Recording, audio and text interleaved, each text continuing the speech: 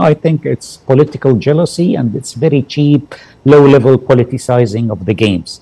They just want to attack China, criticize China, do whatever to tarnish the image of China.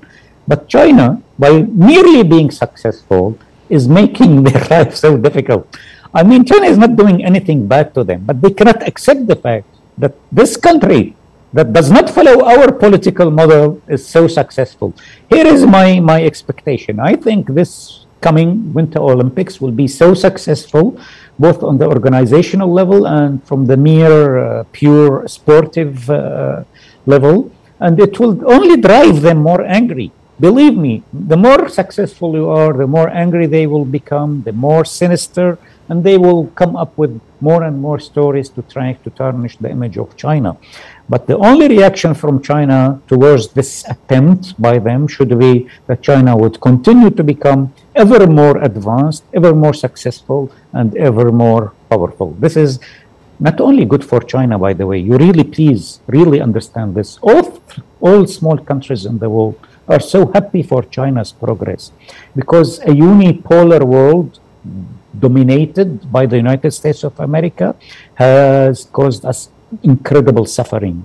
Only when the United States will understand that it is not the only power in the world, but the sole player on the world scene, only then, maybe, maybe the United States will tune down its aggressive, uh, hostile policies towards the rest of the world. So every success achieved by China is looked upon by the rest of the countries in the world as a success for the world order. And this is why I'm so happy that China is doing what it is doing right now and moving forward in a continuous, non-stop way. Mm-hmm. Uh, how do you describe the current status between China and Syria? I can say that the relations are far beyond warm. They are very, very solid, strong relations.